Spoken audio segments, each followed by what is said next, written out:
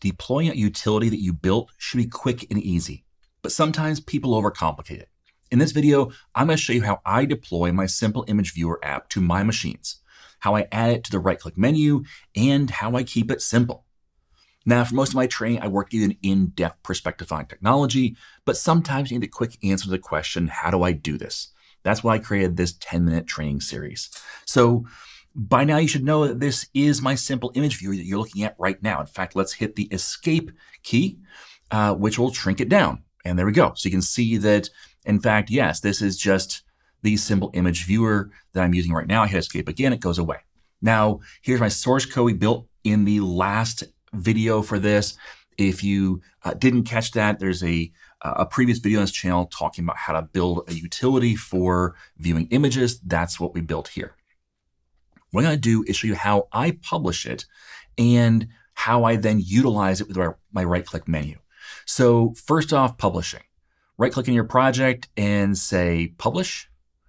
And we're going to choose folder. There's lots of different ways. ClickOnce. No, don't do that. Azure, no. Docker container registry, no. We're going to do a folder. And to say, well, you're sure you don't want ClickOnce? No, I don't. I want just a folder. So leave that alone and it's hit finish. But we're not done yet, so don't run this. So we want to go to all settings. And there's a few things I want to, or a couple things I want to look at here. First of all, framework dependent versus self-contained.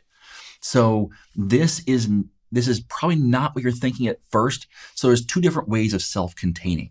Um, one is to say, hey, I want to uh, be self-contained, which means that I'm going to include everything I need to in this package.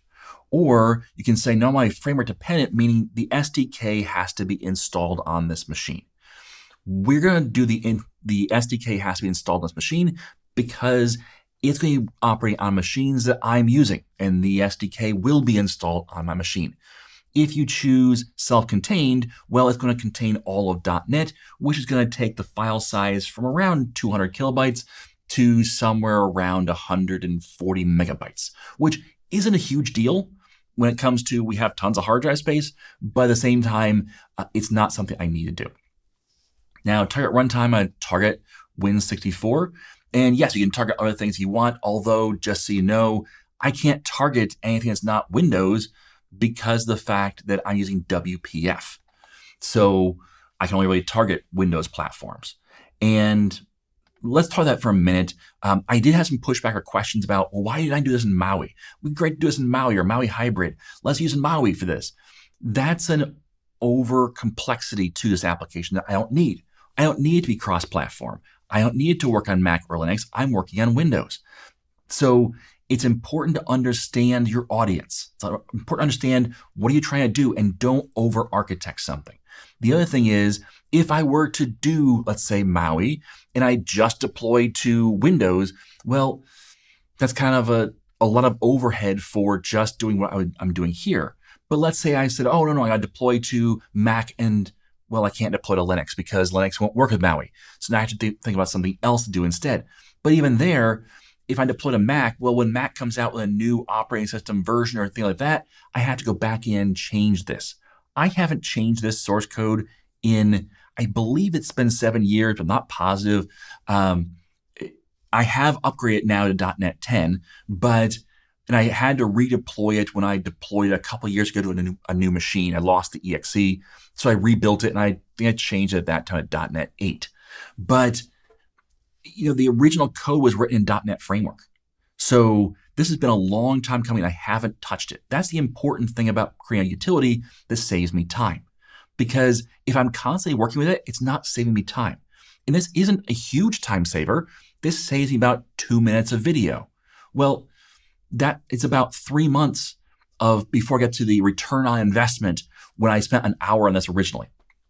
So after about three months, it started to kind of pay for itself. But if I am maintaining it every year, then it might actually take more time than it saves. So be careful that too often we get into the idea of, well, if it's not the latest and greatest thing, or if it's not, you know, if you're not always getting the, you know, this cool stuff into it, then it's not good enough.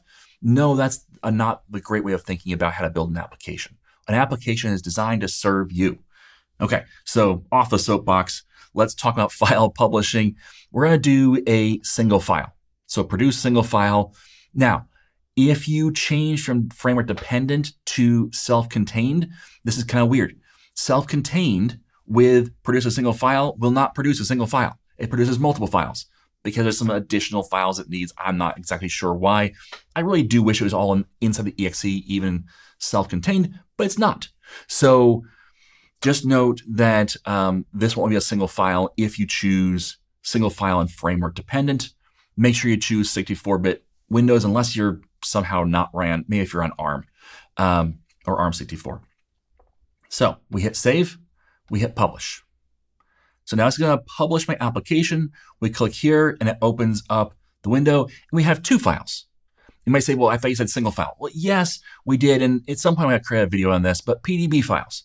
They are files that help you debug an application when it's in production. So when it's in production, it uses the release mode.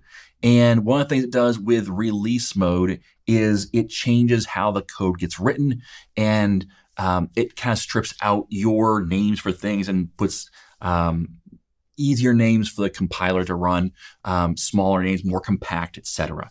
Um, but that's hard to debug. So this PDB allows you to map back to your code all the um, the the actions that are executed in this executable. So you can take your Visual Studio, say, here's the PDB file for this executable. I want to debug this executable as it's running in production. You can put breakpoints in all the rest. So super helpful. I would encourage you not to just delete these um, for a production application. I don't need it though. All I need is this, so I can technically delete this. Again, for production applications, don't delete them, store them somewhere safe. Uh, not, they don't go to the customer, but you keep a, a, hang, a handle on them. But I don't need it. It's not necessary for operation. So this executable, there we go. We can load the directory. We can load things up. Still works just fine. Okay. So our application has now been deployed. I can take this executable and put it somewhere. In fact, I have put it somewhere. I have an apps folder in there is my um, original. Notice this one I believe is from 2024. Again, this is when this new computer was um, created. I I've gone through probably four or five computers since this was built, so it keeps moving along with me. Um, but here is my simple image viewer. If you double click on it, it it's the same thing.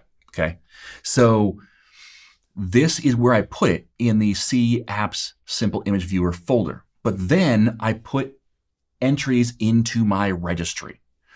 Now, I will put a big asterisk here. If you do not know what you're doing, do not do this. Don't mess with your registry. Your registry is a dangerous place to mess with. You can cause serious problems with your computer. But if you know what you're doing, there's two places in the, the shell and the shell here. So for background shell and then the regular shell for directory, um, I will show you what those are. But basically, you, you put a simple image viewer folder and the command, you put the command to the correct path for your machine.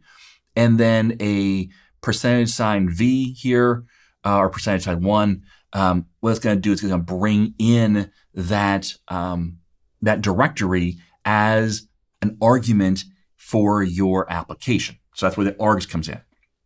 So um, let's open up this registry file. Here it is. Here is the create the folder. Here is the create the, the command, the key itself. Um, same thing, folder and key for both right clicking on white space as well as right clicking on a folder. So yes, there's, um, it's a bit of complexity to mess with the registry. I'll give you this registry. You can click on the link down in the description. I'm going to name it .txt, not .reg. And the reason why is because if you double click on a reg file, it's going to give you a UAC prompt, and then it's going to say, hey, we're going to add information to the registry. Are you sure?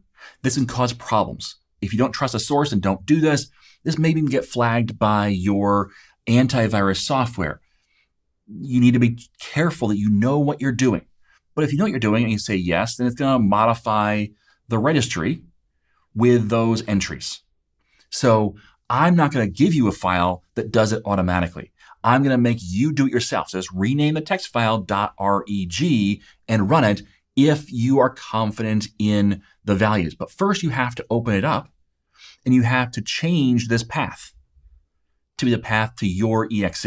Same with this path down here, your exe. And if you name it something different, or you don't want to call it simple image viewer, you have to change this everywhere that's mentioned as well. Again, if you don't know what you're doing, don't do it. But this is how you add it to the right click menu. So that's it. You publish your exe and then you add to your right click menu. Now you're done. You might need a reboot, uh, but now you're done. You have a simple image viewer running in your right click menu. All right. Thanks for watching. And as always, I am Tim Corey.